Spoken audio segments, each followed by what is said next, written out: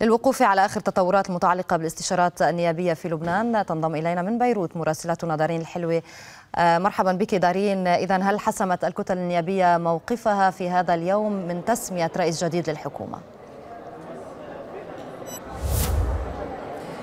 نعم ميشا حسمت الكتل النيابية في الساعات الماضية موقفها من تسمية رئيس للحكومة. طبعا لا شخصية تنافس رئيس الحكومة رئيس حكومة تصريف الأعمال نجيب ميقاتي في هذا الاستحقاق. سيفوز ميقاتي بأغلبية هشة.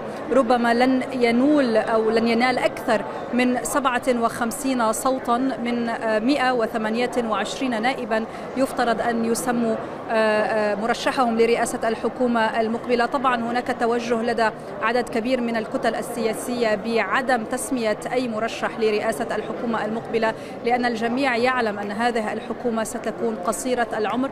في حال نجح ميقاتي أو في حال نجح أي مرشح يفوز برئاسة الحكومة بتأليف هذه الحكومة لأن عمرها يفترض أن ينتهي مع نهاية ولاية رئيس عهد رئيس الجمهورية ميشيل عون في يعني مطلع أكتوبر المقبل.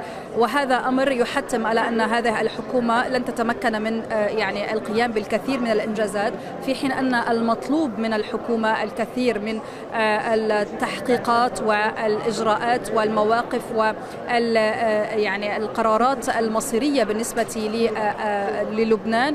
وهو أمر يشترطه المجتمع الدولي الذي ينتظر من لبنان تحقيق إصلاحات دقيقة جدا في عدد من القطاعات حتى يتمكن من مساعدة لبنان على تجاوز أزمته المالية والنقدية.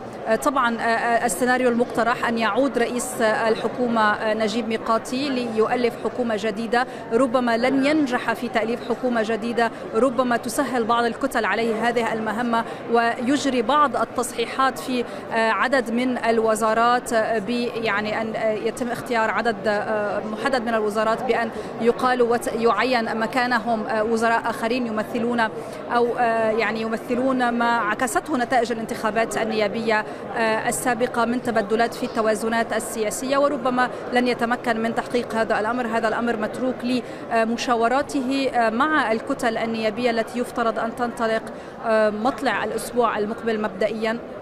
ولكن المشاورات الأساسية هي تلك التي تجري في الأروقة المغلقة والتي تشير إلى أن تحقيق حكومة جديدة أو تأليف حكومة جديدة هو أمر يكاد يكون شبه مستحيل. شكرا جزيلا لك مراسلتنا دارين الحلوة على كل هذه المعلومات والتفاصيل.